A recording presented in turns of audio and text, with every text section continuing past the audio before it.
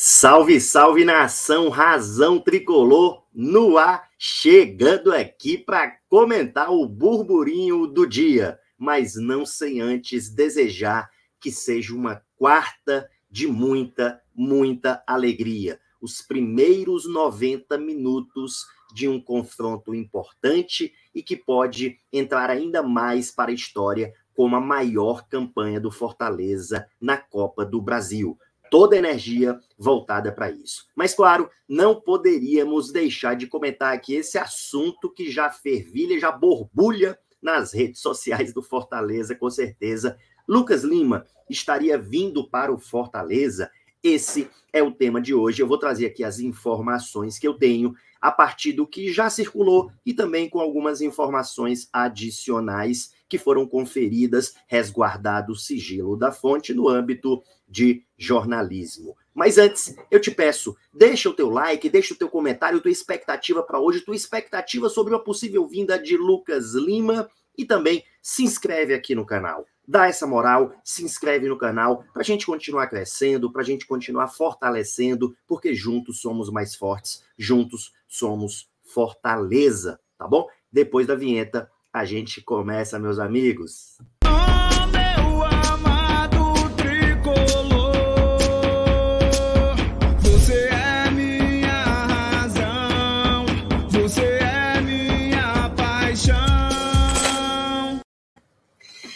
Vamos lá, meus amigos, vamos lá. Aproveitando aqui o intervalinho rápido que eu tenho que voltar a trabalhar. Mas o papo é o seguinte: ontem à noite circulou já uma informação né, do jornalismo paulista, que hoje seriam dados alguns detalhes no programa com o Neto, de um possível acerto de Lucas Lima no Fortaleza. E aí, então, hoje pela manhã tivemos aqui, de uma fonte muito respeitável, né, de Fernando Graziani, do jornal O Povo a informação de que Lucas Lima teria um acerto com o Fortaleza, mas que depende da liberação do Palmeiras. Jogador de 31 anos, não tem sido aproveitado pelo técnico Abel Ferreira.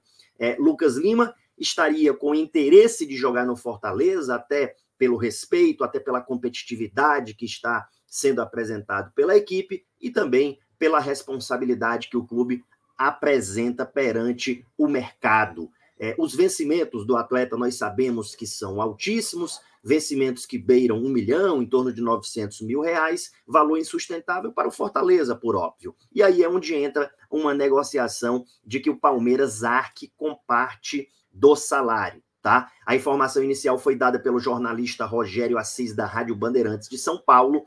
É, Graziani fez algumas confirmações. É, também busquei aqui alguns contatos para algumas informações, inclusive é, com fontes ligadas ao Palmeiras, e aí eu trago aqui algumas informações. Mas antes, terminando a matéria aqui do querido Fernando Graziani, o atleta soma convocações para a seleção brasileira, participou de sete partidas das eliminatórias para a Copa do Mundo de 2018 da Rússia e marcou dois gols com a camisa do Brasil.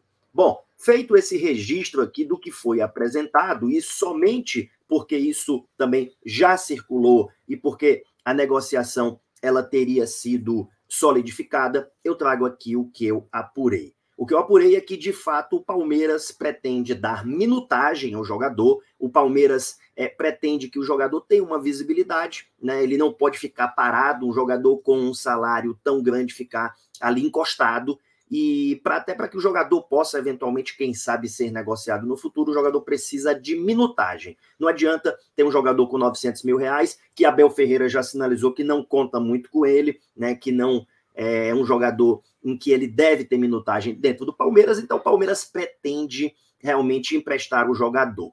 E o salário é muito alto, isso dificulta empréstimos e o Fortaleza foi uma das equipes que buscou esse contato, por entender que aquela posição de um camisa 10 poderia ser melhor calafetada, poderia é, ter ali um reforço para aquela posição. Até tem algumas alternativas dentro do elenco, mas com essa característica tão técnica de Lucas Lima, de fato, não há. E a informação que eu tenho é que o Fortaleza ele chegou a um acerto com Lucas Lima. Fortaleza chegou a um acerto com o Lucas Lima. Yuri, mas pelo amor de Deus, você não fala sempre que o Fortaleza trabalha com responsabilidade fiscal, com austeridade fiscal. Vai fazer loucura agora? Não. A informação que eu tenho é que o Fortaleza arcará com uma parte bem menor do salário, uma parte bem menor, e que ficará dentro do orçamento do clube. Fortaleza não irá estourar o seu orçamento. Mas diante dessa oportunidade de mercado, pensando em coisas grandes, com responsabilidade, o Fortaleza chegou a esse acerto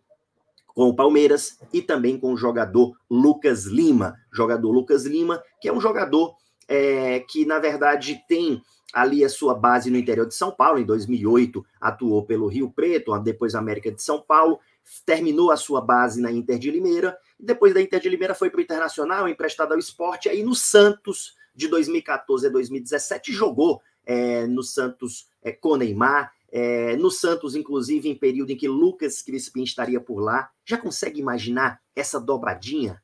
Crispim na esquerda e Lucas Lima no meio. Já consegue imaginar o associativismo, o jogo apoiado, o jogo construído, o jogo técnico, o jogo em que a bola que corre mais que o jogador, né? Que coloca a bola onde quiser, eu confesso que eu já fico até emocionado. Lucas Lima não foi bem no Palmeiras, enfrenta ali uma dificuldade, mas o Palmeiras tem um plantel muito rico, é, o Palmeiras tem jogadores em excesso e isso traz dificuldades. A verdade é que realmente um meia da qualidade, da capacidade de Lucas Lima, nós não temos é, no nosso elenco. Um meia com esses atributos tão técnicos e que pode permitir um jogo muito técnico, um jogo de muita inversão, de muito balanço, de muita variação. O Crispim inverte para um lado, vai tocar para o Lucas Crispim, é, Lucas, é, até me confundi aqui. Lucas Crispim para Lucas Lima, um tocando para o outro, um passando, um invertendo para um lado, inverte para o outro, a bola circula para todo lado. Meus amigos, eu estou mais voivodizado ainda com essa alternativa de um jogo apoiado, de um jogo construído. Lucas Crispim, Lucas Lima, Crispim, Lima, Lima, Crispim. Meus amigos, onde é que vai chegar? Vai chegar no limão